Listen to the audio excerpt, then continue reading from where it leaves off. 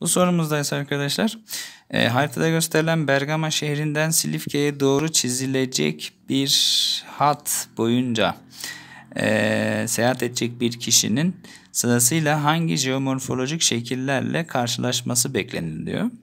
Şimdi gençler e, Bergama biliyorsunuz İzmir tarafında Ege'de Yunt dağlarıyla başlarız. Kula volkanlarıyla devam ederiz.